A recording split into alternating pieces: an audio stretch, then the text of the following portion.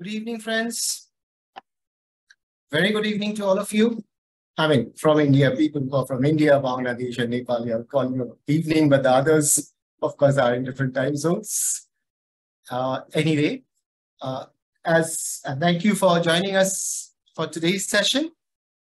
Uh, today's session, we are, I mean, as I said in my in our WhatsApp group, is gradually we would go into deep dive into the uh, sanitation value chain, and we start with the containment systems. The first part of the uh, sanitation value chain is a containment system. So today's module, we'll be talking about designing of on-site sanitation systems and speci specifically with reference to the containment systems. And for that, in the initial half an hour, we'd be talking about, or we would be learning about planning for sanitation, the on-site and off-site systems, the code of practices, and the guidelines. And to do this, to enlighten us on these, on these factors, we have Mr. Rohit Kakkad with us.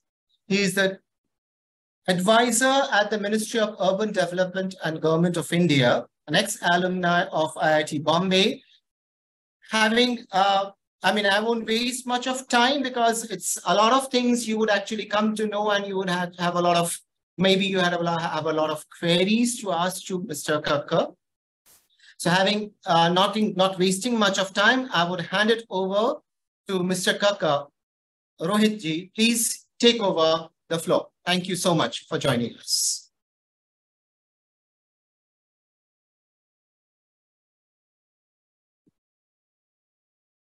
Are you there, sir? He is joined. Yes, sir. Yeah, yes. we can see you. Yeah. Please take on, sir. Thank you so much for joining us. Uh, I'm uh, from the Central Public Health and Environmental Engineering Organization sitting in Delhi. My name is Rohit Kakkad. I'm a deputy advisor here. And uh, at this moment, our organization, which is a part of the Ministry of Housing and Urban Affairs, Government of India, we are uh, just one second. Okay, at this moment, uh, this organization is involved in the Swachh Bharat mission. And under the Swachh Bharat mission, my uh, team is looking after the used water management component. How does the, the used water management uh, in India, in Indian context, in Indian urban areas is improved to meet the global standards and the uh, SDG guidelines. So we had done some planning. We have executed those planning. We have introduced the planning to the states and ultimately the uh, sanitation being a state subject, states are now being encouraged to take the sanitation as per the, uh, as per the, you could say the guidance of this ministry and Central Public Health Engineering Organization. I can see that there are international uh, uh, participants out here. So maybe there are similar organizations in your uh, nation. So uh, I'll be covering my presentation, which I have is will be around 30, 35 minutes, and it will be in two parts. One is the basic engineering part of it, that is the science and engineering part of it, why this entire trouble of you know getting the treatment and getting managing this huge quantity of uh, used water is important. And second is what are the broad areas or broad, uh, you could say, directions in which uh, in India's uh, in India's context we are taking this uh, this program ahead. So uh, without waste, wasting much time, I'll just like to open a presentation. If can just a sec. Mm. Just give me a couple of minutes.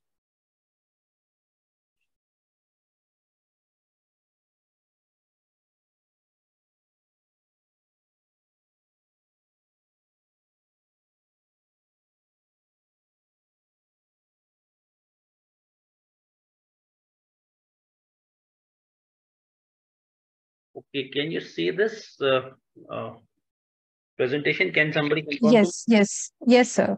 We can see. And I'm trying to put it on full screen and then try to move. Sometimes this does not work, so I'm just uh, requesting you to just reconfirm. Now it's in full screen. Uh, no, no issue, yes. sir. We can pull up the slide. You can talk and ask us to change the slides. As I mean, when... we don't. No. We don't have the copy of it, sir. Yes. So I'll make the presentation. I'll move the presentation also. I'll just request you to confirm whether this Full screen is there. No, it's not full screen, sir. It's not full screen. Could you make it? So please uh, pardon me because it always happens. Sometimes, you know, uh, uh, this. So I'll just keep moving the slides and uh, as I discussed. Oh, so, right. Sure. Starting. So uh, we all know why. Just one second again. There's some important thing. Just give me a couple of minutes. Rajesh, can you just take it on? It's from the Joint Secretary's office. I'll just take this call and come back.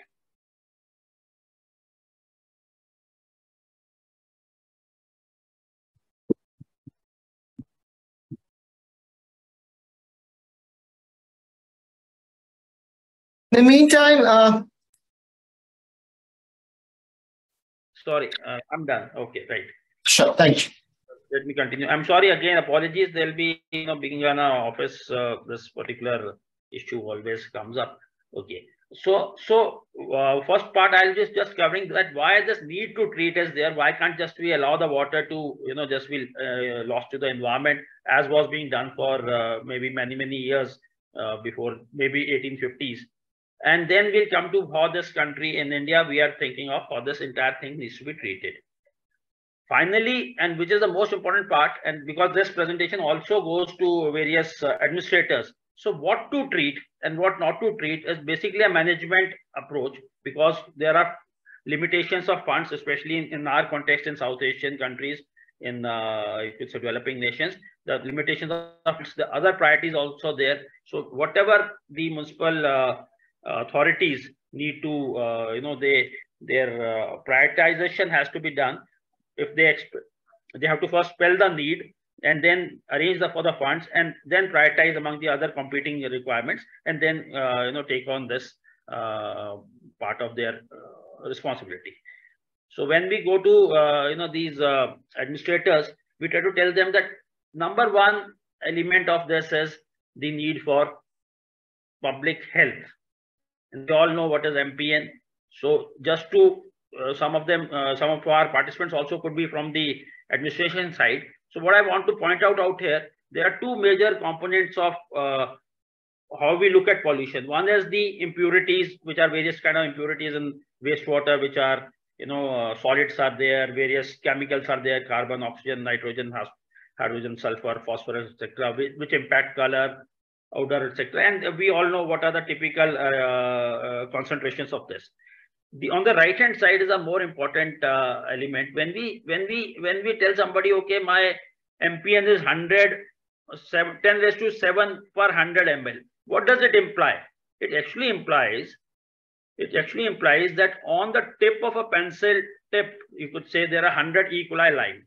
If you see this is, you know, around uh, one uh, millimeter cube, so on a one millimeter cube area, almost 100, 100 numbers of pathogens, 10 raised to 2, that is 100 numbers of pathogens would be lying on that tip. So that small quantity of used water, which otherwise a person would feel it is okay, it is smelling, uh, we are actually discharging it into the environment, the nature will take care of it.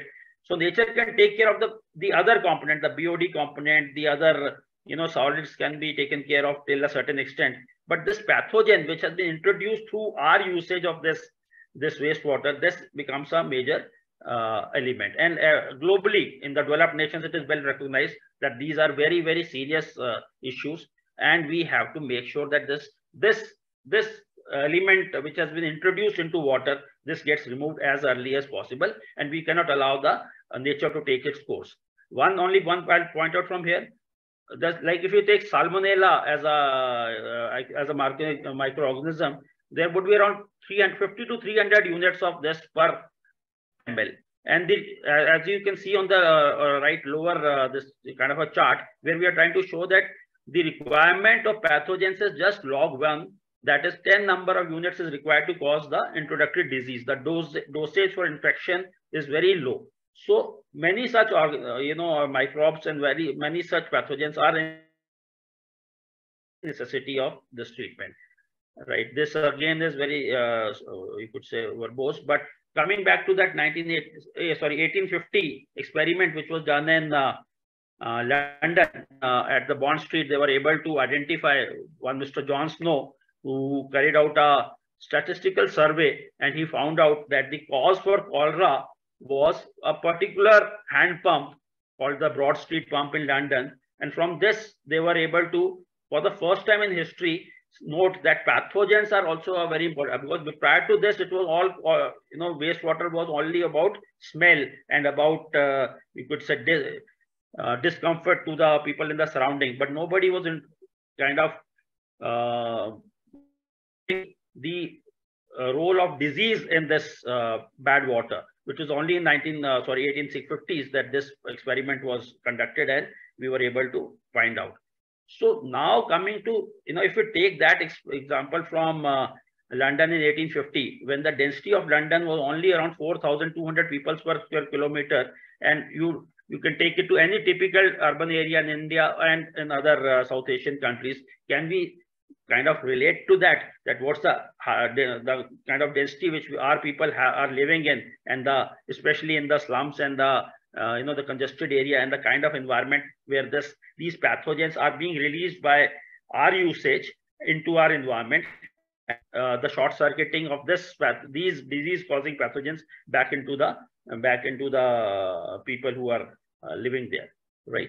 So this was one element. The second element obviously everybody knows is a biochemical oxygen demand which is again uh, uh, uh unrequired element of uh, used water or wastewater in which some quantity of, of biochemical oxygen demand gets introduced into this water because of our usage so now what I just want to point out out here is that you know when we say black water is very bad and gray water is you know generally okay, have to see that as per all uh, you could say records and all uh, scientific uh, studies, 70% of the BOD comes from our gray water. That is the kitchen, bathing and washing area. And only around 30% of BOD comes from the black water which is our uh, toilet usages and urine. So we have to be very careful in saying that, okay, we only need to treat black water and we may not treat gray water, which is, you know, why I'm telling you this is because in recent years, while the, this country in India, we are trying to improve the quality of used water management, often these, uh, uh, you know, statements are made and then uh, it becomes slightly difficult because everybody wants to uh, spend the least amount of funds for this uh, managing your used water. But uh, to do that, they try to differentiate between these two components of water. While grey water is much more in volume as compared to black water, but also, also the grey water carries 70% of the BOD load. So we have to make sure that in case we want to remove the BOD, the grey water also needs to be managed to the same level as black water. That's the uh, point. Okay, these are various statistics coming from, uh, you know, even Western uh, countries or this particular slide is from Japan, which says the BOD uh, uh, per capita is around 43 grams, out of which uh, only about uh, 13 grams comes from the, the night soil or the excreta. The rest of it all is coming from the gray water. Our studies on and India also are corresponding to same requirement. Okay. So this was one, uh, two major reasons why treat uh, use water because of the pollutants in that. And secondly is a disease causing pollutants in uh, this thing. And finally, in case uh, uh, these two are not uh, found to be satisfactory or not found to be important enough by the by the administrator, we can also say that if we use treat water, if we treat our used water, we introduce it for reuse. If we do not do that, because urban areas are a concentration, are densely packed concentration of people where often treat, uh, fresh water is brought in from huge distances. In India, in many cases, it comes from over 100 kilometers away. And after a single usage, in case you are just going to uh, discharge the water into environment without proper treatment, you, this may not be appropriate. While by doing only a small amount of, uh, uh you could say, uh, improvement on that, we can use it for various uh, useful purposes such as as listed here agriculture power so these are the various reasons why this water needs to be treated. Then okay. Second is how to treat which is the major part what is our you know our in our planning. How do we in india we plan to uh, make this uh, uh, water fit for uh, you could say uh, discharge and for other secondary usages?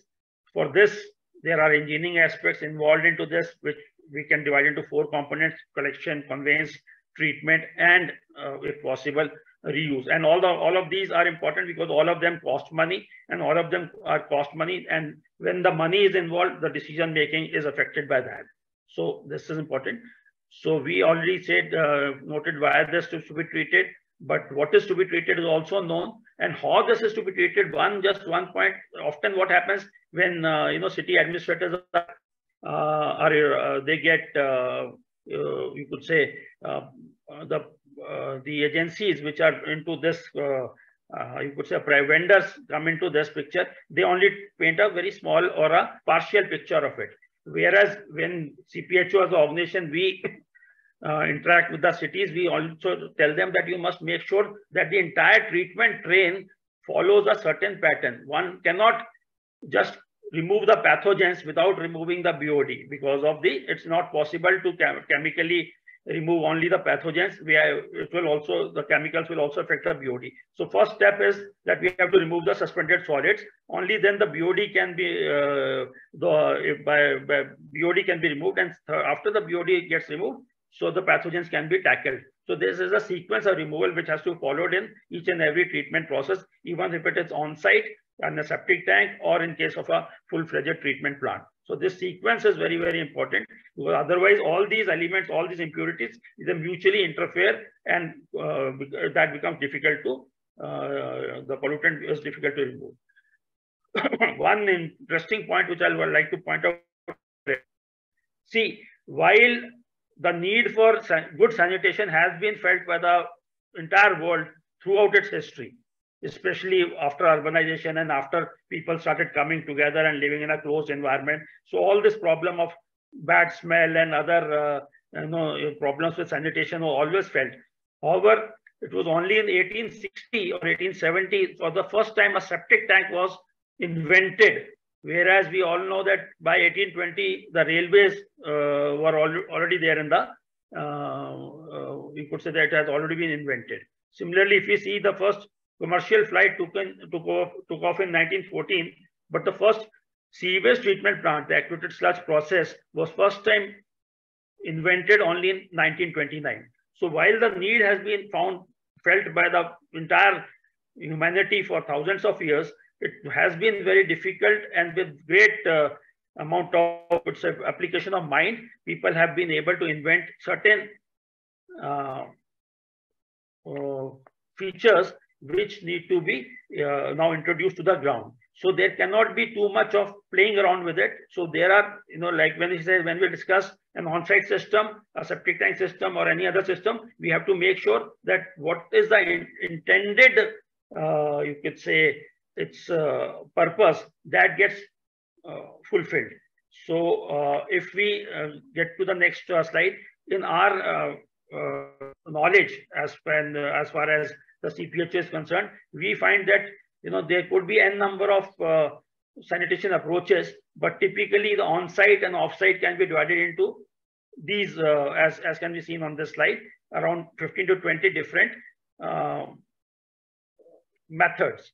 So uh, the on-site basically is you can say the most uh, prevalent is the septic tank with a flush uh, system followed by a soak well there are other uh, issues like single pits and uh, uh, VIP latrines.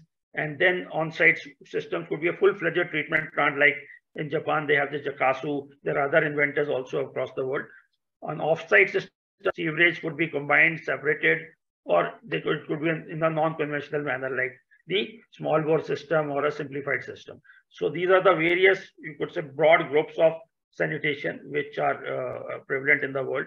In India, for the for the uh, you know for the ongoing missions like Swachh Bharat mission as well as Amrut, we generally uh, have been asking the states to stick to three or four well-established systems, which could be that we can have a sewer system, which could be a uh, ideally it should be a separated sewer, but it could be a combined sewer. On the other hand, uh, we can have an on-site system, which is uh, you know, which will be a septic tank, which will be followed by a soak pit. So the system has to be a two-part system, a septic soak pit. So these could be the systems, or they can be a twin pit system, in which is uh, as per the uh, you know that six monthly uh, you, you, use one pit and then uh, block this approach to the pit and then use the other pit. So these are three, four systems. Besides this, we are also, you could say in India, we also support uh, on-site full-fledged treatment systems like Johkasou or any other full-fledged wastewater treatment system, which uh, you know takes care of all the pollutants, that is the suspended solids, the organic matter, the BOD, as well as the pathogens. So if a system has got the uh, components which takes care of all the systems, we are uh, we support those kind of uh, introductions. Only problem was that such systems are slightly, uh, in fact, much more costly than uh, a sewage system or, or an on-site uh, septic tank cum soak well system. So it, the usage is slightly limited in the country. Right. The offsite systems which we have, like we said, that uh, consist of sewers with a, a sewage pumping stations and sewage treatment plants. And the advantage of such good systems is that it collects all the used water, be it the gray water, your black water, everything gets collected from your uh, point of use and it is safely conveyed to a treatment facility, not through a open drain, which can you know cause uh, secondary disease. If it is safely conveyed through sewers, out at the treatment plant, it is treated to the desired level as per the regulations. And in case we can have a you know slightly larger treatment plant, there will be always a economy of scale in the treatment. On the other hand side, dependent dependent on the dispersal of the town, uh, the cost of sewers could increase for a larger plant. So that uh, appropriate size of the treatment facility has to be uh, seen by the uh, local authority. At the same time, when you have this kind of a system, the local authority has to take on the responsibility. Why I point out that uh, this point is that many a time in our country, in especially in the smaller cities, the authorities are very happy giving the responsibility to the householder, saying that, okay, if he can manage on his own, he can have his own septic tank system or a twin pit system. We do not want to take responsibility of the public, uh, uh, these uh, um, treatment facilities. However, this is one of the major uh, responsibilities of any public authority is to uh, make sure that the sanitation, because it's not our individual, one, one person's poor sanitation also affects the neighborhood. So you cannot allow or you cannot just leave it to that uh, person to take uh, care of the sanitation because it is also affecting the neighbors. So out here, once you have this uh, public sewer systems, they have to be maintained with the public authority. And in case, you know, like any system, they are prone to disruption if they're not managed efficiently. And that can bring a bad name. So that kind of gives a small, uh, you could say, amount of, uh, there's a resistance in many small public uh, bodies, uh, small towns that they do not uh, feel that they uh, should take up the this offsite systems, right? Second concern obviously is with the the cost. One is you know the cost of water wastage. These are the general concerns. They say that to make the make the uh, make the or the excreta flow in the sewers, it takes out precious water. it's expensive to execute the sewers, especially And so this becomes this becomes the second concern. And third concern is seen in some parts of the country where they say that it is very inconvenient because the excavation will be there, digging will be there, the public feels inconvenience. So we will not like to take on this system. But in the other parts of the country where the progressive cities are there and uh, larger cities, definitely without, uh, you know, despite the inconvenience, obviously there will be some inconvenience. The people uh, uh, happy in getting the, these permanent solutions that is uh, through sewers in case their waste can be managed. Uh, now the wastage part is uh, actually a not a, the, this concern that the water is wasted. That is not exactly a you know, correct concern because you are only using the excreta, uh, the black water or the water which you use in your toilets and only to convey the excreta past the uh, water seal in your in your system. And once have done that, uh, you know, that that is not too much of a concern as your black water usage is only around 25%, while your other usages of 75% for kitchen and others, this entire water has to be brought in from whatever distance it is. So to get a good quality of, uh, uh, you could say life, if this 25% additional water is there, because it is also being used in, uh, you know, your cleansing and also for clean, making the toilet uh, bowl and other areas clean. So we cannot generally say that this water, water is being uh, wasted as such, right? Second big advantage of this system, if you have offsite system through sewer and STP, is that entire water which is you know used by you can be conveyed to a good treatment plant where it is polished and it is you know reintroduced into the environment for reuse. So which is not possible through any other system. It's expensive to maintain and to execute and maintain. That is a that's a claim, but uh, as compared to any of the other uh, public services which a municipality provides, be it water supply, be it uh, road transportation, street electrification, uh, it is much less uh, expensive to execute and maintain a sewer network or a, a sewage treatment plant. So if you have to live in an urban environment, if you have to live in an improved urban environment, so this excuse or this claim could be uh, should not be made. Right. Okay. Second alternative, which we generally take on in this country, and where almost 50 to 60 percent of our urban areas they have this on-site management system. Most of it is based on septic tank systems. So there are certain minor alternatives, but typically this uh, septic tank system is there, which is actually a passive engineered system, which should have a two-step process. Uh, there's a septic tank, and then there's a soak pit. So uh, there's a bit of uh, you know science behind it, but the actual treatment takes place in the soak pit, and septic tank is just a holding tank which separates out the various components of the uh, uh, pollution. pollution. So uh, we find that in um, you know this septic tank, all these definitions. I'll just leave the presentation. So Okay, out here, I just wanted to point out that the aim of septic tank is that uh, the surrounding soil can take care of the other uh, sullage water if possible, if there is adequate surrounding soil, because there's a certain uh, percolation rate which the soil can uh, take on. So it's not uh, unlimited. So if uh, the, that water can be absorbed by the surrounding soil, so we can discharge the sullage water because it has a less percentage of you could say uh, the pathogens, though it has got a higher percentage of uh, BOD, but pathogens are less, so it can be uh, left out in gardens and grassed areas. This is given in the IS code. But at the same time, we have to note that in urban areas, because of the high congestion, there are very limited amount of gardens and grassed areas. So we cannot just take uh, you know this uh, at the face value. We have to plan for this. So planning also is dependent on the kind of uh, concentration of public in a, in a given urban environment. Uh, under no circumstances should effluent from septic tank be allowed into an open channel drain or a body.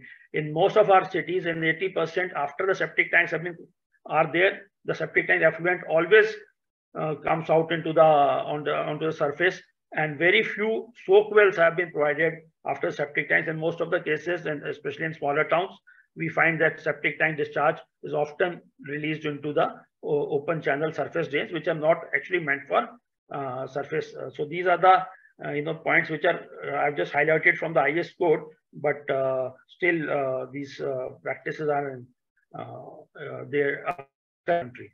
Like I was already telling you that you know most of the treatment, if you see as per the US EPA, 75 to 90 percent of the BOD and suspended solids can be removed, and variable quantity of bacteria can also be removed through a septic tank soak well systems, provided that there's a soak pit after the septic tank. By itself, the septic tank is very, very poor in removing the BOD or the or the bacteria component, which is the uh, major uh, uh, problems which we have.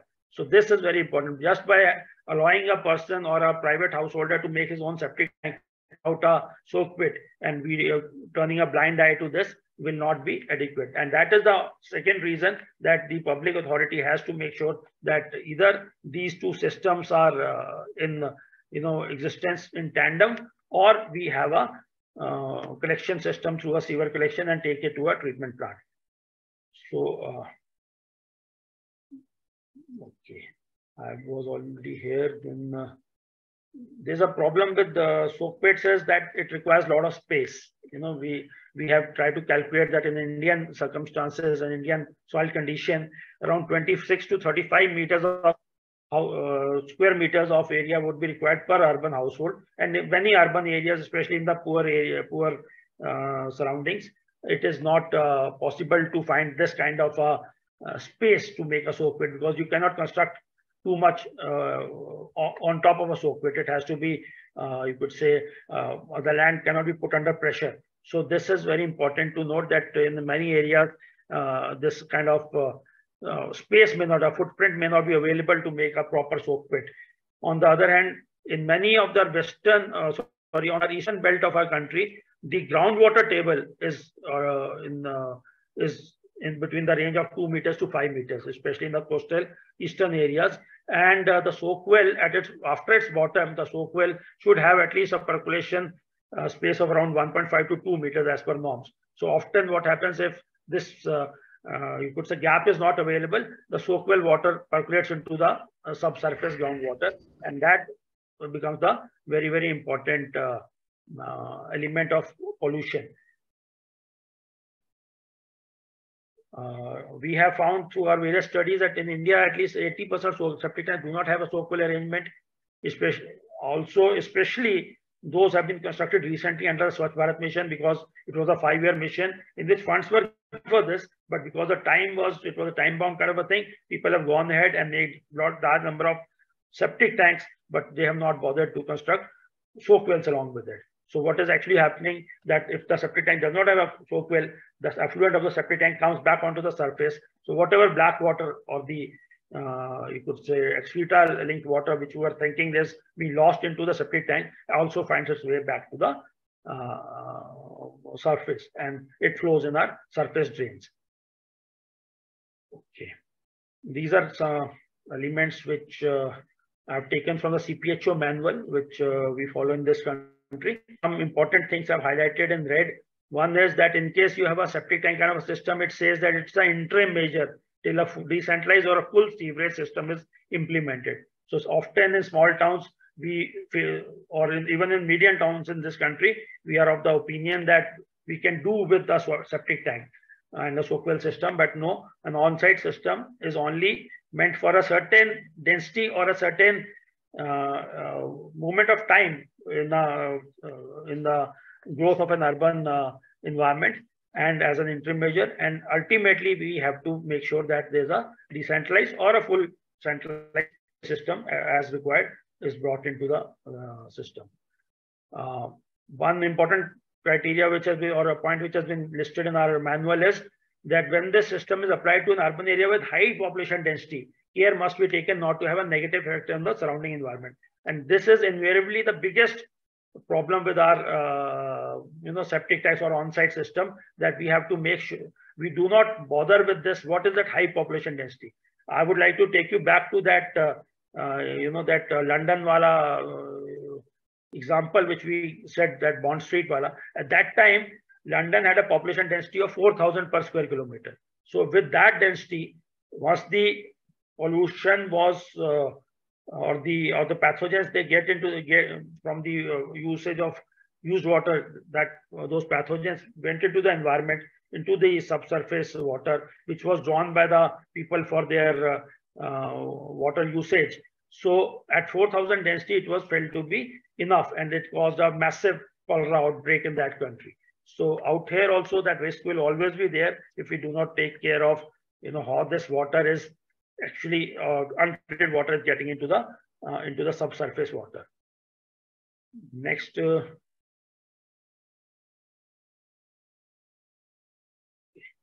some of the criteria for site selection of a septic tank system is, you know, it also has to be, this has been taken from Malaysia, but also applicable for our country and our manual is also covering some of the points, but it has to be, uh, you know, at least a certain distance, 15 meters away from any underground water storage tank. So in, in smaller towns where there's a lot of water storage or a open well system, so we must make sure that all these uh, uh, septic tanks are not too found not too close from such uh, uh structures. And uh, definitely these not very good in case we can also have a similar system in our local bylaws for septic tank systems so that these sludging vehicles can at least approach up to that uh, close to the household and uh, such other advantages which can be taken from these uh, uh, norms. right. So next, so ultimately, if we if we try to compare what are the pros and cons of on-site system, off-site systems, we have just tried to put it on a single slide out here. An on-site system definitely has got advantage. It is less cost intensive to the municipal body, but it is actually very costly on a per capita basis because this individual or the householder has to uh, make uh, this arrangement for his own septic tank and a soak well system where he may not have a space in, uh, available to him. And if he does not have a space, he compromises it and that compromise affects the neighbors and the other public uh, in the in the urban area, right? Second uh, advantage of having an on-site system is that we can control the entire treatment system, which can be then made sure that the water is available for secondary usages. So it's a complete uh, solution. Uh, then, uh, like I said, the cost of septic tanks, which the householder otherwise has to bear, can be taken up by the uh, by the public authority, and the householder can be charged a monthly rent or a uh, revenue for this uh, service. Right. A, a, disadvantage, definitely the discomfort there for at the time of implementation, but once these systems are implemented, and it has been done in most of the developed nations, after that systems are implemented, they are less discomforting. So um, this is one. A disadvantage of black of only having a septic tank, it's an incomplete solution, like we said. Firstly, it only deals with black water, and in case the soak well are not there, even the black water comes to comes back to the surface. So it is difficult to monitor and manage. Uh, also, the system needs to be desludged periodically from the household itself, which would be very difficult in congested urban areas in many cases. Uh, sir, may we request you to kindly wrap up? Yes. So last, uh, I can I can just wrap it out here. So what we were also thinking was this is a very nice uh, table uh, which has been uh, made by one uh, Professor Yashwiki from University of Queensland. So it has done based on the population density basis. It says what would be the most appropriate treatment systems. So on-site systems, as you say, can see where the population density is less and where the availability of electricity and water supply is less. So these kind of systems can be uh, useful out there where the population density is also less and the water supply is also less. But in an urban environment where we are providing adequate water supply, so we should try to go for uh, these systems, which are full-fledged treatment systems. So conventional sewerage, in case the population density is high, and in case the population density is low, something like an on-site treatment plant, like a Johkasou kind of a system. So these these systems are, uh, you could say, uh, useful uh, in case of a uh, urban environment after, after a certain threshold density. So my next few slides were meant to discuss how this density approach has been, you could say, um, taken into consideration. But I'll just uh, uh, I'll just discuss. Uh, we have we in the, other slides. You can just take this. We have discussed from USA and Japan, but we take an example of Malaysia. So we take the example of Malaysia being a you could say um, developing nation to an extent. So they have a system that on if you have a single development where the density is more than five units per hectare, you will have to provide a sewer network. But if the density is less than five units, that is density is less than 25 people per hectare, you can have a on-site system, right? So uh, as you can see, but even once that if the density is low, but the number of units is large for a single development, which has more than 30 units, but density may be less, a sewer reticulation system is preferred. So if the density is low, you can do with the on-site system. Still, they prefer, in case the number of units is large, to have a uh, proper sewer, sewer uh, reticulation and a treatment plant system. But definitely, the terrain is a dictating factor. If the uh, terrain uh, so requires that you know this networking cannot be done, then we can have a low density uh, system. So this is a good, uh, you could say, practice, which in our uh, Swachh Bharat mission, we also try to follow this.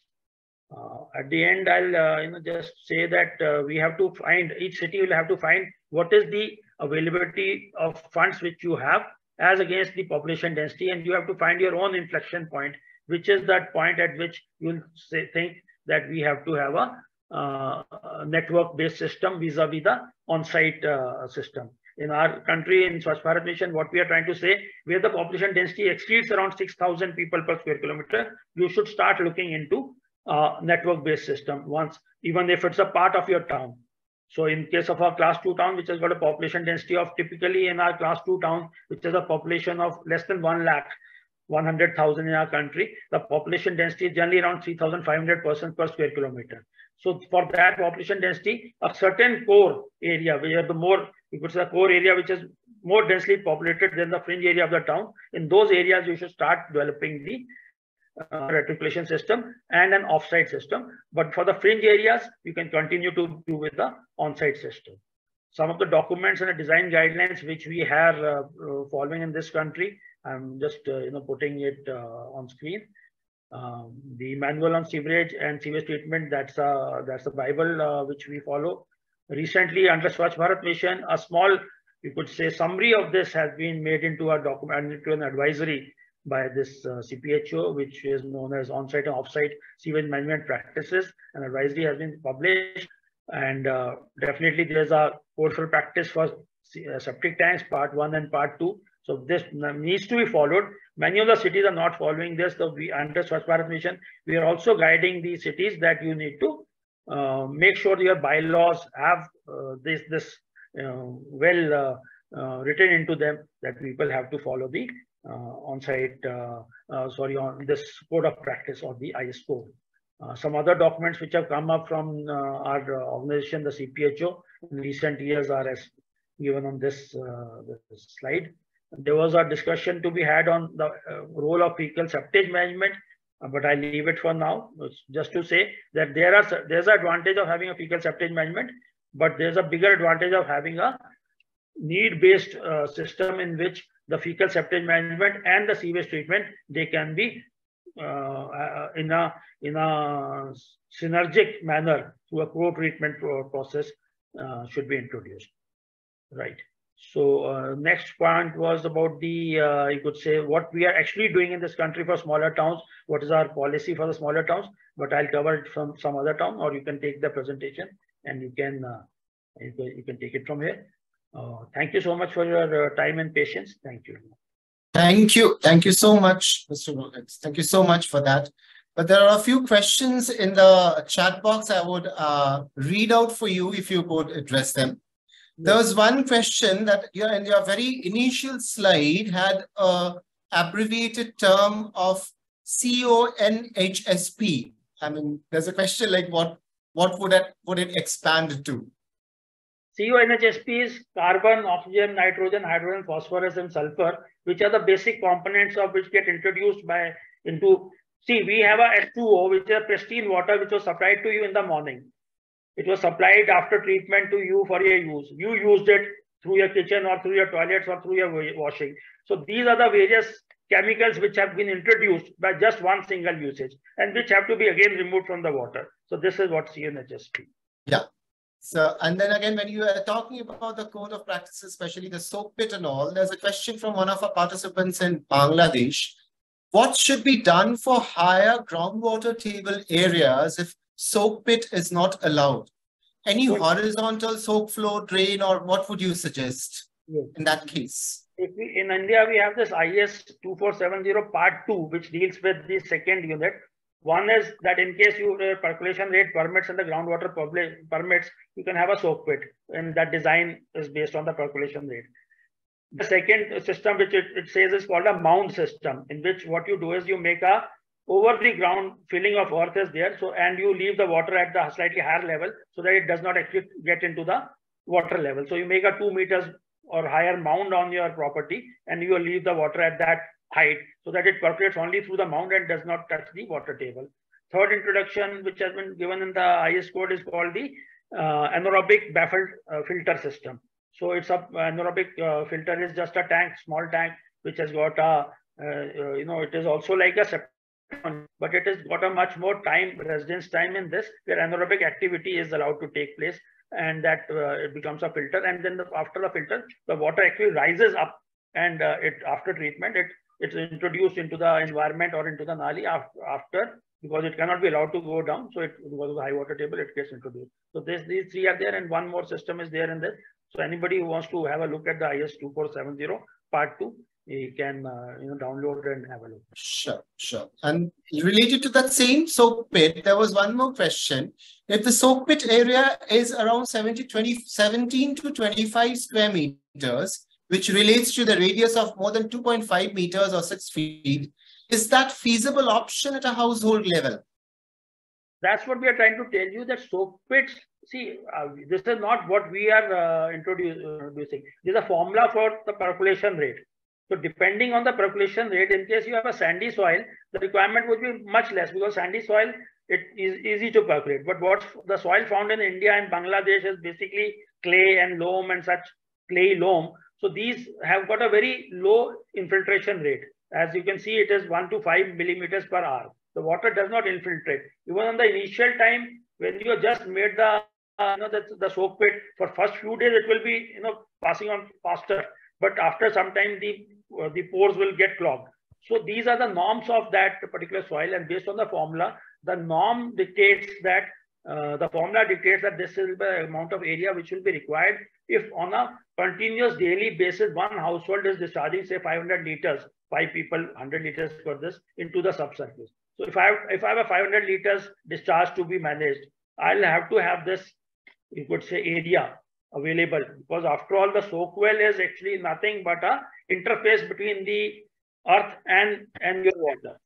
That has to have a uh, you could say, uh, uh, surface area for, to get into contact. So this is the surface area needed. So this is as per the formula only. Uh, thank you. Thank you so much. That explains. Another question. I will take the last question of this session and then I'll call up our next uh, uh, speaker. There's a participant from uh, Nepal. He has asked, what do you suggest in cities where already majority of the households have non-sewer sanitation systems, basically kind of a holding tank or a septic tank, like. So in our uh, country, what we are doing under Swachh Bharat Mission, we are saying that in case your density is above 6,000 or so, you have to, depending on the funds which are available to you, if you don't have money, nothing can be done about it. So the money has to be made available. And in case you have money, you have to make sure that at this is the right time to get into a uh, network system. So if you are saying that we already have these holding tanks, the network system can be two ways. One can be the bypass way that you have a fresh network system and your toilets get connected to this network, which is a conventional sewer system. And otherwise it could be that small bore system where after the your holding tank, the solids are settled in the holding tank or you can have a small bore system which is for the effluent which is escaping from the holding tank. But in the second case, the issue is that definitely Advantage is that you do not have to excavate to the depth which a sewer uh, requires. But at the second same time, your septic tanks will uh, be, you know, after, after a certain period needing desludging. So it has to be, so you'll be left with both the problems for the desludging also, and also you have to actually make the sewer is almost the same, only the depth is reduced. So you may save, save on the short term, but on the long term, you will have to invest money.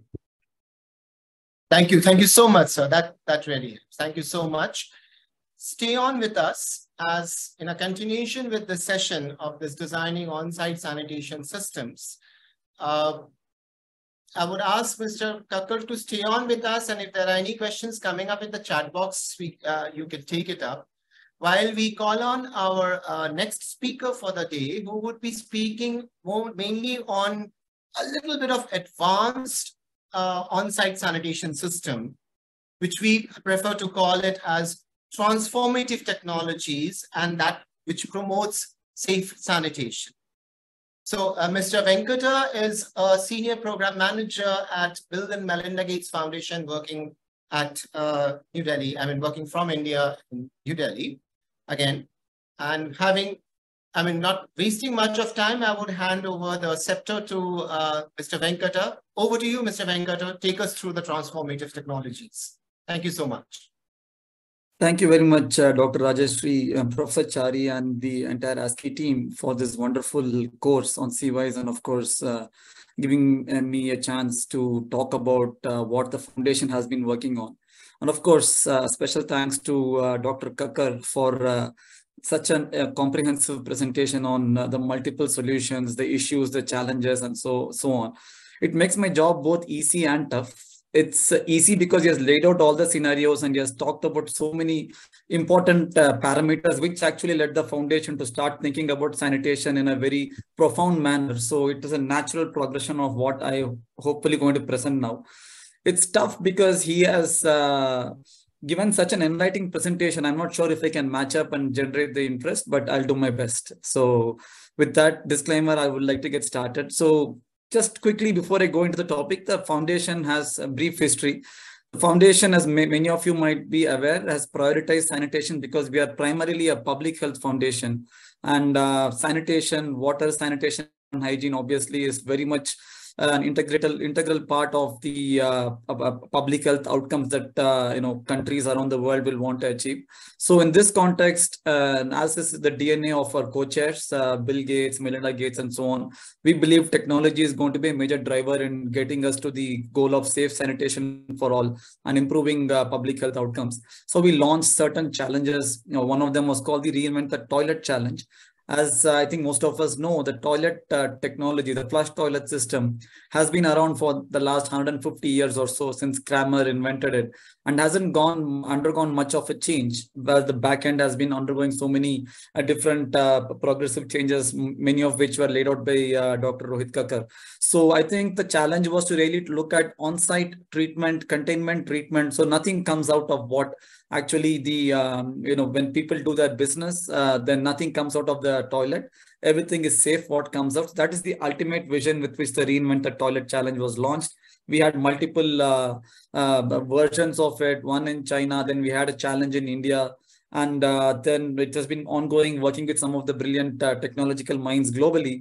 And then it led to a, a portfolio of products which uh, i will briefly talk about and why we believe this these would be transformative to sanitation so i think uh, in terms of uh, the, the, the whole issue that we're trying to address again i will uh, take up a lot from the previous presentation there are multiple ways in which sanitation services are offered off-site sewer connections on-site and so on and uh, one solution cannot serve all. I totally agree with Dr. Kakkar, the way he laid it out. And uh, as we started out understanding the sanitation scenario in multiple countries, of course, ASCI have been a frontal, integral partner of this journey with us. So I think that they have, they have, uh, uh, they have a lot to contribute as well in this, as much as our other partners. Is that the, the goal of sanitation is to ensure we reach the poorest and we achieve 100% coverage even if a few persons are left out, even if the last person is left out, the goal is not achieved. So that's how the construct of CWIS really evolved. And uh, today it's such a strong uh, mechanism on which uh, sanitation uh, infrastructure uh, planning is happening.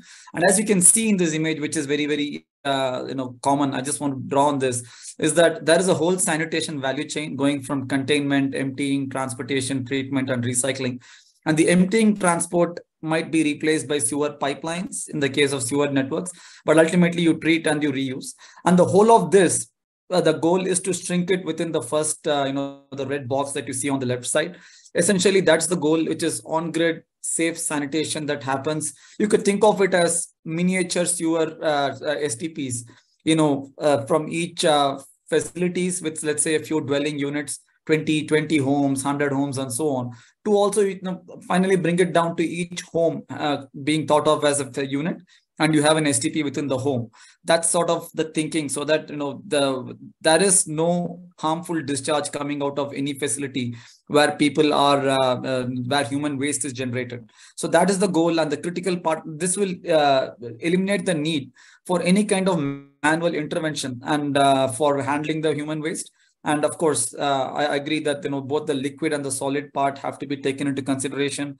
So fecal sludge management, used water management. So the technology that you know we have evolved. We started out with fecal sludge management, and then it has now gone to stages where it can be looked at as a holistic solution, looking at black water only, gray water, and so on. I'll give a brief uh, on on that as well. So, just one second, please.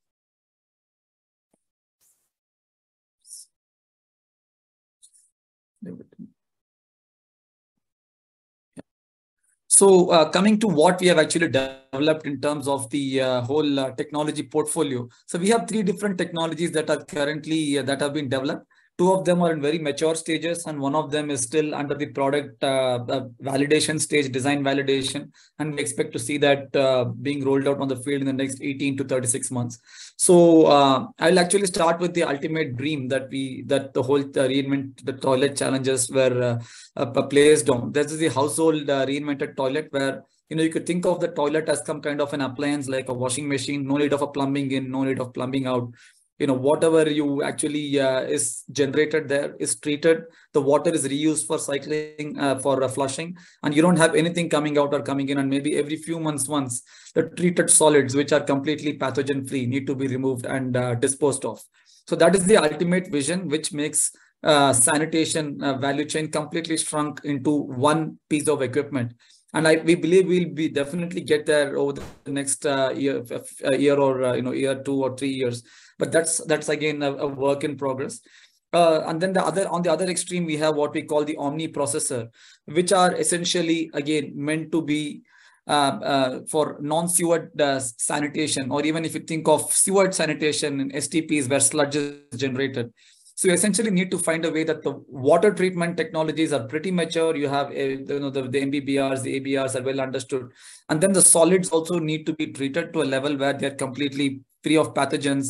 And there are a host of other uh, uh, parameters to consider by designing these uh, STPs or FSTPs, which would be land area uh, optimization, and also looking at the uh, time for treatment, the quality of treatment, the efficacy of treatment, and so on. So the foundation's um, investment into omni-processor development, as the name suggests, was really to try and find a way to treat the solids with minimal area, minimal electricity, self-sustaining system that can be modular that can be moved around. It can be done in uh, sizes, flexible sizes, starting from very small units of 5 KLD all the way up, scaling it up as per the need.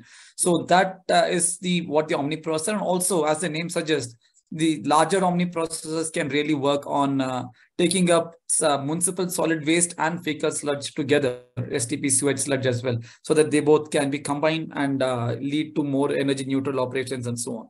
Now, in between the two, we have what we call the community scale reinvented toilet. Again, a very modular solution out of the factory. It can be installed anywhere. And we have these systems operating in India for the last 18 months or so.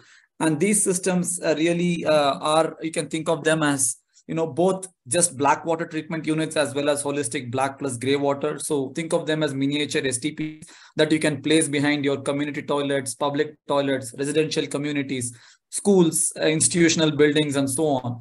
And the problem of sanitation is sorted within the boundary walls of the facility where the problem is emerging right so that that is the community reinvented toilet again it works on different principles different physics but these all comply to certain global treatment norms and there are iso standards as well which have been developed uh, i think about 29 30 countries are also signatories to that. So this kind of uh, community reinvented toilet is essentially meant to uh, you know think of it as not just in miniature stp but also a replacement for a septic tank because here it's completely treated to uh, meeting whatever the treatment norms are required, eh, both in country as well as global treatment norms, so that the water can be reused for uh, flushing, cleaning the toilet, and gardening and so on. And, the, and, and it's, it's again a self-sustaining uh, model. And uh, I think taking up from the previous presentation, some of the large uh, population dense uh, urban areas sometimes also can struggle with uh, availability of water. I mean, you take cities like Bangalore or Chennai, and some of them so some of them are water surplus cities, but some of them really are water water scarce. And we see a huge value prop for these kind of systems, especially try and reach the last mile, the poorest of the poor in the, in the urban settlements and so on. So these are three different uh, types of uh, topologies in which the technologies have been developed. And uh, moving on to the uh, whole, uh, I mean, just summarizing, it's they eliminate pathogens, they operate off grid with uh, you know very minimal energy requirements. Water of course can be completely eliminated. You might have to just do a refill every 6 months to 12 months. It's easy to install and portable. So let's say you want to move a particular toilet facility to another place or you have a very uh, dense gathering of people seasonally like uh, tourist locations um, pilgrimages and so on. These can be moved around or the ghats of rivers and so on. These offer the ideal solution. In terms of uh, life cycle cost they will have uh, some of the lowest life cycle cost if you consider a 10 15 year window. And they are very modular and they're right out of the factory. So once the the the, the system is uh, established to be operating as per the efficiency and the treatment norms that it's supposed to operate to these can be at scale supplied um, operated and maintained uh, with uh, with minimal uh, intervention and also they are very easy to scale like you want to do this across say 1000 toilets at one stretch.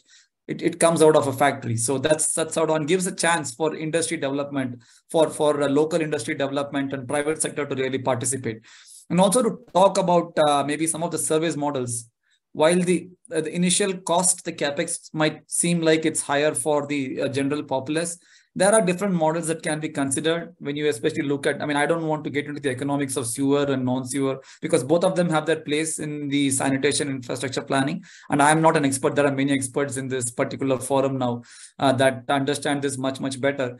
But it can also be there are ways to think about this as well as you know governments or cities offering these solutions as a service on a pay as you use basis uh, something to think about. We are contemplating this in other geographies as well. And uh, we are working closely with the WASH Innovation Hub within ASCI to try and come up with different business models. And this, of course, will be very closely worked with the uh, different government uh, bodies as we try and uh, bring this up to see what will be the best way to roll these solutions out because they really meet the goal of safe sanitation for all. Now, uh, we have been doing this as a commitment to improve sanitation globally. And as you can see, they are, again, on the right side, you see some indicative figures which we want to achieve. And these are by no means the best estimates that you can actually achieve. You know, when you come to the Indian context, the Chinese context, and so on, there are a lot of ways in which, or I know the South Asian, broader South Asian context, there are a lot of ways in which cost optimization can be achieved. So those figures can really be uh, further optimized, but they're just an indicator for the technology developers upstream to really understand what kind of figures they should really be thinking about if they were to make this affordable for the larger population in uh, the, the developing world. So those are the driving uh, factors for them. And uh, in terms of uh, the different processing, this just to give you a brief of different players who have been involved in developing these technologies. And uh, you know, I'll be happy to share more information through WASH Innovation Hub as well as key as we go through this. So just again, the different configurations that we can really think of. So community toilet, as you can see, you know, very brief pictorially, it's it's talking about at a community level, it can be four homes, it can be 40, 400 homes, and uh, you know, multiple uh, ways of uh, setting up this infrastructure so the whole thing can be treated. Household level, of course, it can be like different toilets within a home, or maybe a group of three, four homes want to have a single treatment unit. So there is no, that is sort of a uh, converging area between the single household and community. But the point is the, the nothing changes in the front end for the user. You know, the user experience doesn't change. We're not trying to do anything there. It's just that the back end treatment is transformed so that it, it makes uh, the job of both the user as well as the government easier and also saves money over a life cycle cost analysis. And of course, some standards and some of the uh, uh, opportunities. Just to give you a pictorial uh, view of what this looks like today and what this can really go to in terms of much smaller sizing and so on. And this is, you know, again, there are multiple configurations. It could only be a water alone. The solids can be sent out. Solids can be separated and then minimal water reuse for flushing. The rest of the water goes after the solids are separated towards central STP and so on. So multiple ways in which this can be designed. So I just go over a few configurations which we believe can just make this uh, a little bit easier. So again, this is thing as you can see on the right side and what this can actually replace. So a truck coming in and doing the desludging of a septic tank, you eliminate the need for a septic tank by having this. So the economics in some cases, if you talk about a proper septic tank versus this, we don't see there much of even today. But again, these numbers have to be validated and we're working closely with partners like ASCI. But at this point in time, we are hopeful or we feel motivated that replacing a septic tank by this in, in, in situations where there is an alternate gray water treatment uh, can be considered as far, as far as the black water RT is concerned. Uh, as you can see the difference there. But we also have gray plus black water treatment as well as uh, Dr. Kakkar uh, rightfully pointed. It's not that something that we really think of black water treatment as, you know, pathogen loaded. You know, there is gray water, there's BOD, COD, 70% of the water or even higher is gray water. So holistic approach is really critical. And add to that the need for treating the solids as well. So nothing leaves the facility that is harmful. So the whole thing can be set and constructed in this, this particular manner and you will get rid of a lot of other infrastructure by bringing in this and different service delivery models can be uh, looked at. Uh, again, this is just a first set of units that have been put up. We have systems in India, in New Delhi, in, in, in Kolkata, in Chennai, in Ahmedabad, and so on. And these have been operating for a few months now. And of course, they will need uh, further optimization in terms of making them you know, cost effective and uh, so on. But the performance so far in the Indian conditions, in the user context that we have, has been satisfactory, has been good, and we're constantly trying to improvise that. uh, to offer the best sort of uh, most efficacious treatment. But the starting uh, has the beginning of this journey has been good, and we feel confident we can take this forward in a appropriate manner to take it to the the the, the public. Uh, in term, the next technology I'll touch briefly upon, and please stop me if there is, uh, you know, want of time, uh, Dr. Rajeshri. So the Omni processor is again, it's a it's a system. It, it you can think of it as a solids treatment module. Uh, some of you might have attended the, some of the workshops that we've had on the Omni processor before. Uh, we've had uh, discussions both around the pyrolysis based as well as the combustion based Omni processor, which essentially are you know, can be attached to any kind of an FSTP, the fecal sludge treatment plant, or you know, at a larger scale STPs as well. You free up a lot of land that really goes into making these assets. And you also remove a lot of the eyesore that you see by some of the sludge sitting.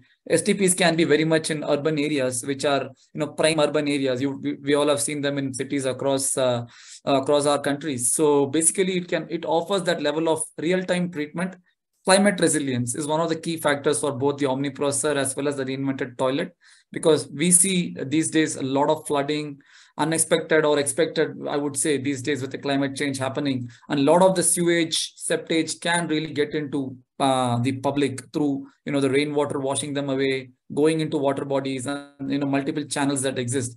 These solutions what they do they're resilient because they treat real time. And what comes out if at all out of the facility where treatment is happening is really treated waste. And uh, while it's not still good, but it's it's it's much safer because if this gets into water bodies or gets into the uh, environment, it's still not going to harm people because it's been treated to a great extent.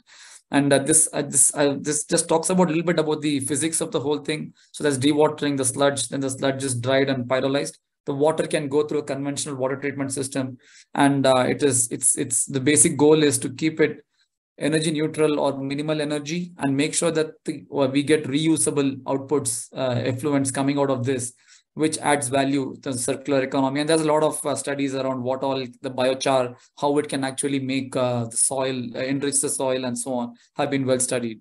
So these are some of the advantages. I don't want to go into details, but you can just see uh, class A biosolids. It's very easy to set up because it's again factory made, modular, movable. You can see the picture over here. It's not something that is needs a drying bed or setup of anything. It's like containerized solutions that can be kept anywhere. So the flexibility is offered. So we have a few systems, Warangal, Narsapur, Y, and uh, more systems are planned as well. Uh, as, as, as we are speaking in the next 12 months, we expect to see more of these systems. So that's a typical layout, as you can see, neatly laid out like a factory-based uh, approach. And, uh, you know, it, it really avoids the need for drying beds and uh, so on. So this is the other one, larger Omni processor. I don't want to get into the details, but this is based on combustion and where you do co-treatment of municipal solid waste along with sludge, you know, co-located with an STP or a municipal solid waste site. We use gasification. It generates electricity. It, it produces industry grade distilled water and it generates bioash, which has a lot of uh, potential use cases in the uh, brick industries, cement industry, and so on. So there are multiple, and this has been well uh, sort of successfully uh, done in uh, Senegal and Dakar, Dakar in Senegal, where we have a very large uh, omniprocessor operating for the last three years. And uh, the outputs of that system have been valorized and uh, they, they do generate revenue for the whole plant. And these are have to be better understood and studied. But as the as the, the treatment journey is evolving month on month, year on year, I think we see a lot of potential for private sector to participate, for capital to flow in, and the development sector is also increasing their uh, participation, their commitment.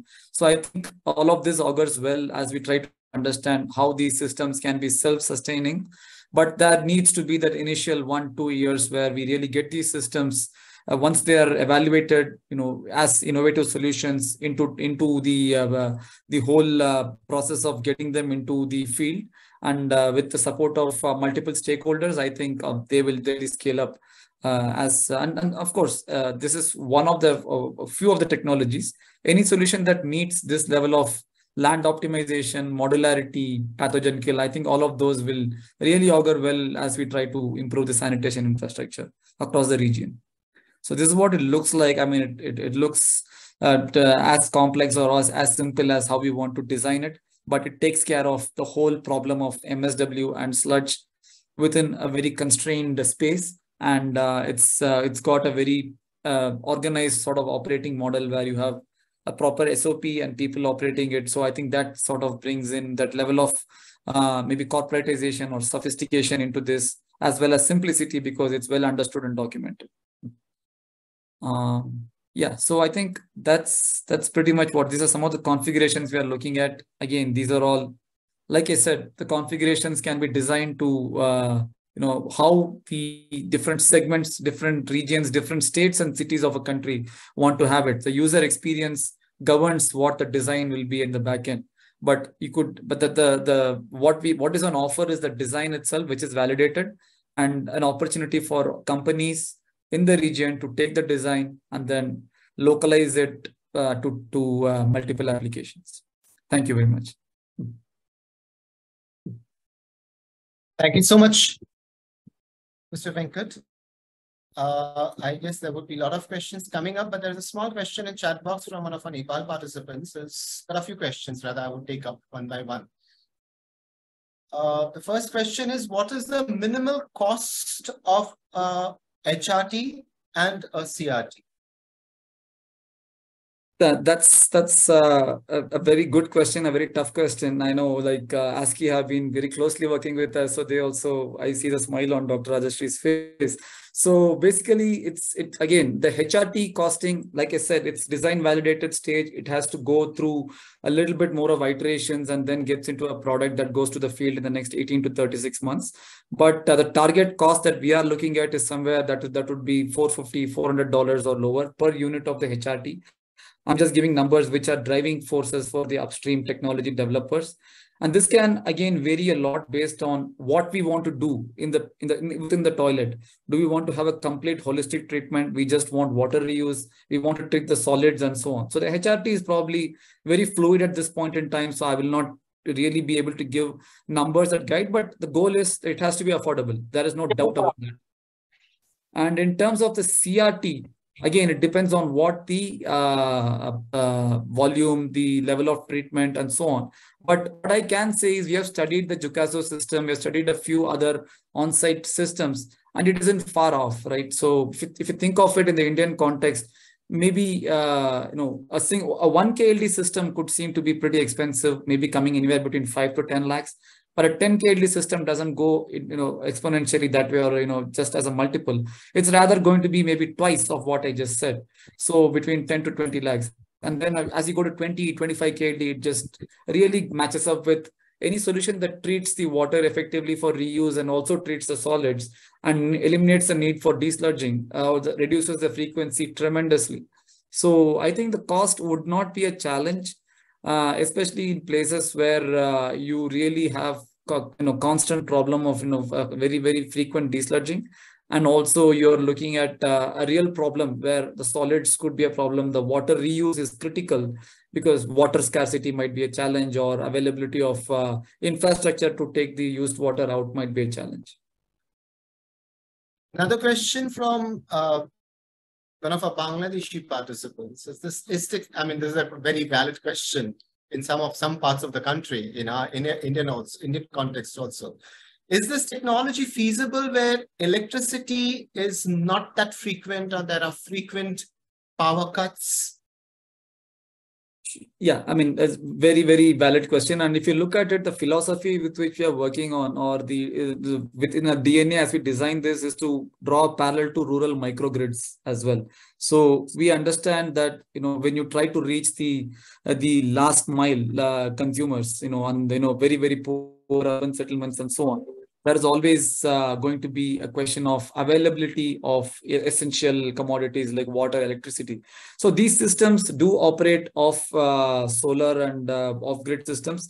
Now the cost of this, you know, one could argue that adding this kind of electricity or powering requirement could uh, really increase it. But then what we have seen is that with uh, the current uh, cost of solar systems as well as the cost curve expected, we don't see this being a huge challenge, especially if the goal is to offer sanitation services to those particular uh, uh, you know section of population and the surrounding constraints of trying to extend other infrastructure to reach that place.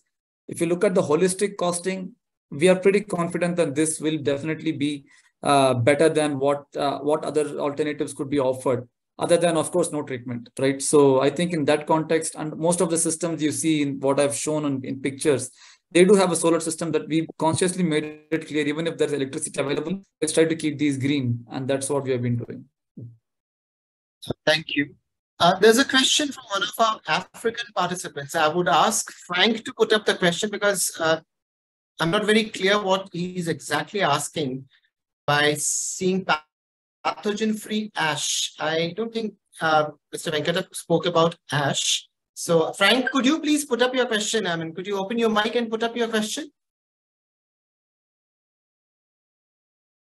Frank, are you okay, there? Okay, yes, yes, I'm here.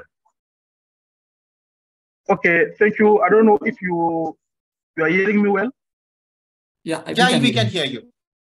Okay, my question is uh, just uh, I saw pathogen-free ash, and I want you to know because uh, according to scientific rules and others, uh, it is said that uh, after something is burnt, until until we get ash, uh, all the microorganisms and others will die. And uh, when I see pathogen-free ash, uh, according to what I understand, maybe we have some kind of ash uh, that contains uh, maybe, uh, I mean, uh, microorganisms which, which can resist to fire. So I need clear, more understanding about it, more clear, yes, clear understanding. Sure. So uh, I think, uh, I mean, I'm not an expert in this topic, so I will also request maybe Dr. Rajeshri and Professor Chari to weigh in, of course, Dr. Kakkar as well. Is that uh, when I spoke about, I think, bioash as part of the combustion-based Omni processor, and that happens, uh, again, a very limited supply of oxygen at around 600 degrees Celsius or so. And uh, it really meets the, as we have, we have studied and tested the uh, bioash that comes out of this system. It, we have an operational system in Vadodara and one in the Rohingya camp in uh, Bangladesh at, at Cox Bazar. And uh, it, it operates, uh, I mean, it, it meets the standards that are as per the global norms for class A biosolids and beyond in terms of uh, elimination of pathogens. We didn't see any specific contamination, even we did gasification of municipal solid waste and uh, floods from the nearby STP and even the uh, emission norms, everything was met. You know, in fact, you see white smoke coming out of it and the smoke has been studied. We've done a TÜV audit. Uh, so I, I didn't see any specific challenges. We didn't see any specific uh, presence of contaminations or pathogens in that. Of course, once the ash is recovered, the way it is going to be handled and so on, and where it is stored and that could again, you know, beat the purpose if it is done in an improper way, which can lead to maybe moisture getting in or, or so on. But here's where I would maybe request some of the experts to weigh in. But that's that's my yeah, uh, Mr. Kakkar, yeah, please.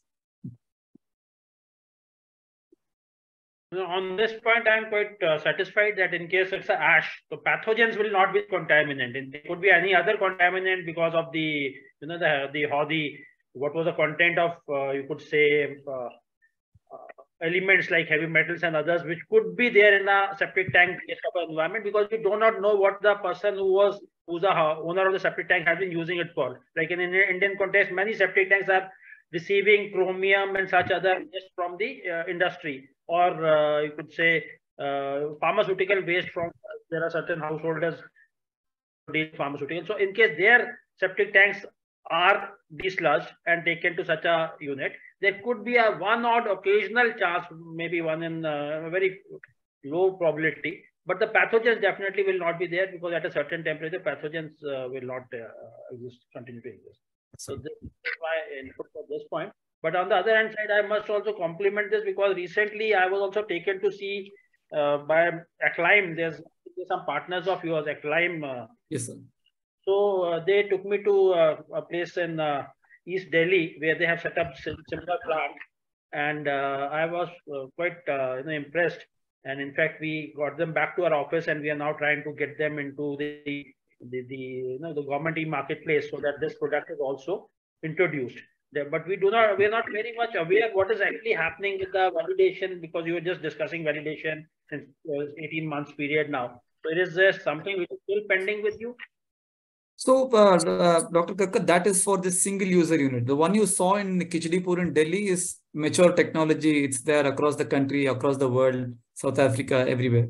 The one that I refer to as more validation is the single unit where it's like an appliance sitting in the restroom. One person uses it, it treats it there. But the one you saw is uh, well validated and it is in the field for a long, for a while across the world. Okay, and how many units are there in India? Suppose we want to have any other validation. One is in Khichadipur and others. In India, we have seven units, uh, sir. So we have one in uh, uh, Kolkata. There's one in uh, that three in Chennai actually. GCC initially have asked us to sort of see if we can scale this up. The Greater Chennai Corporation. We have one at a public school in Ahmedabad and one that's recently got commissioned in Warangal. Uh, I think the ASCI team are aware of that as well. Okay. So, so ASCI is working and ASCI will be coming up with some kind of a, you know, report on this, what, whether whatever norms are there are being met by this, this uh, system. Because on the other side, uh, as we saw, the one at Khichadipur, because this was a single unit, so we need to work on the what are the standards and what is the input to output, you know, ratios which uh, will be brought up by the by the the, the agency which is setting up this um, plant.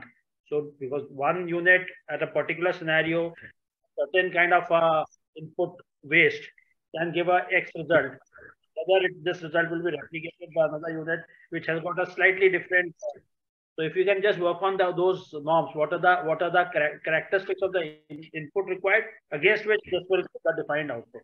So if that, those can be worked out, that will be very good because this is very very impressive, and we would like to, while the mission is on, we like to have this kind of a system because at this moment we only have the Johkasou to say as a on-site full-fledged treatment plant. So if they, we can have a second uh, for competition, in fact, I've Johkasou people also on this, that there seems, seems to be something which will be very competitive product. So maybe we should uh, discuss this more uh, in depth. Uh, absolutely, sir. In fact, Dr. Roshan was also meaning to maybe have a word with you on that. He probably will you as well. And also just to add, the differentiator, but also the but we can discuss more.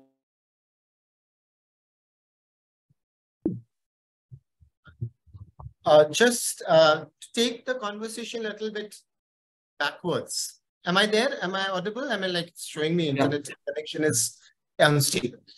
So just to take the conversation backwards, yes, uh, Mr. Rohit Kakkar, the one, the setup that has been, that has come up in Warangal is uh, ASCI is actually into the process of testing the input, input the influent and the output parameters, whatever has been designed and claimed. That is something we'll, we'll surely do it.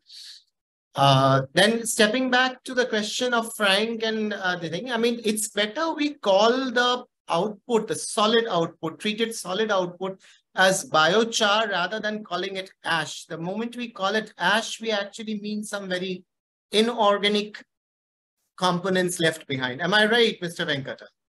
If we yeah, so we call it biochar, when we call it biochar, we actually uh, we we are actually meaning that the essential nutrient components are retained back. It is pathogen free. It, the nutrient components in terms of nitrogen, phosphorus, they are retained back so that, and of course, the biochar is very fluffy. It's much more uh, lighter in its density. There is a porosity in that which actually can be used as a kind of a soil conditioner, which makes it more easily usable, reusable, or contributing to the circularity of the system. So that's how I would put it. And rather, I mean, it's like, it's not like interchangeably using ash and biochar. Rather, we prefer to call it biochar rather than calling it ash. Ash is mainly some inorganic materials left behind after complete burning. But what Dr. Mr. Venkat said is pyrolysis. It's burning them at a temperature which is devoid of oxygen or at, in an oxygen tension environment, which doesn't convert every other thing into gaseous form and left with minerals only. But what is there is the nitrogen, phosphorus, all these which are good for the soil are retained back.